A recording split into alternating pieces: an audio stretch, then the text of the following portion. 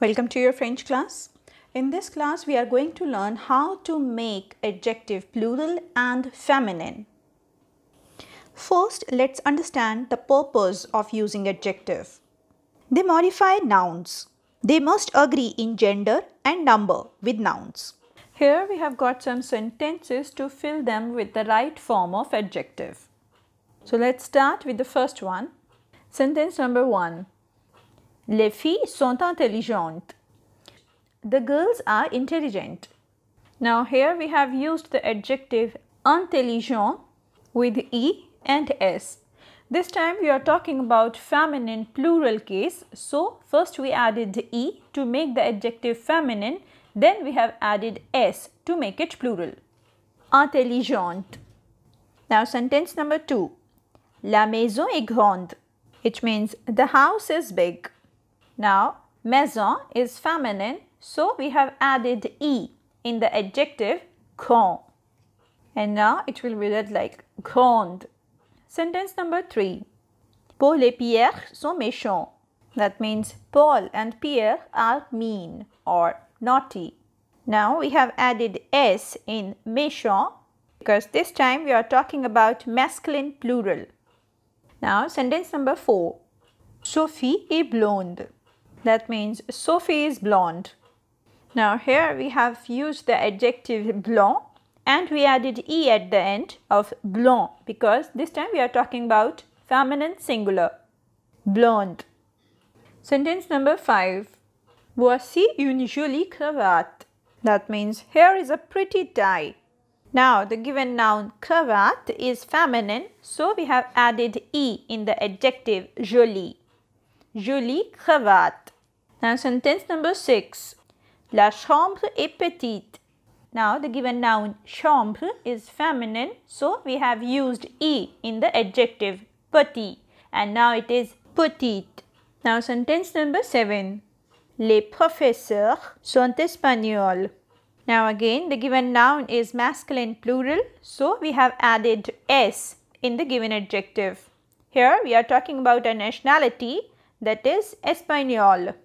Now it means the teachers are Spanish. Now sentence number 8. Les chats sont jolis. It means the cats are pretty. Now the given noun les chats is masculine plural so we have added s in the adjective joli. Now sentence number 9. Regardez la jolie image. That means look at the pretty picture. Now the given word image is feminine so we have added e in the adjective jolie image. Now sentence number 10. Les étudiants sont gentils. That means the students are nice or kind. Now les étudiants is feminine plural. So first we'll double the letter L then we'll add E and S. Because we are talking about a feminine plural noun. Gentil. Now sentence number 11. Le livre est jaune. That means the book is yellow. Now, the given noun le livre is masculine. So, we have written jaune and E is already there in the spellings. So, we are not going to remove this E. Le livre est jaune. It means the book is yellow. Now, sentence number 12. Steffi et Lisa sont souriantes. That means Steffi and Lisa are smiling. Now, the given noun is feminine plural. Here we are talking about two girls. So, we'll add E and S in souriante. Now sentence number 13. C'est une nouvelle bibliothèque. That means it's a new library. Now the given noun bibliothèque is feminine so we'll use nouvelle. Now sentence number 14. Les femmes sont jolies. The women are pretty. Now the given noun is feminine plural so we'll add e and s in jolie. La leçon est ennuyeuse. That means the lesson is boring. Now the given noun is feminine, la leçon. So we are going to use the feminine adjective, ennuyeuse. Sentence number 16. C'est un bel appartement. It is a beautiful apartment. Now the given noun appartement is starting with a vowel and it is masculine. So we are going to use belle, Belle appartement. Now sentence number 17. Varun aime le chat noir. That means Varun likes the black cat. Now the given noun le chat is masculine. So we are going to write the masculine form of noir. Sentence number 18. Les oiseaux sont noirs. Now here the given noun les oiseaux is masculine plural. So we'll add s in the masculine form of the given adjective noir.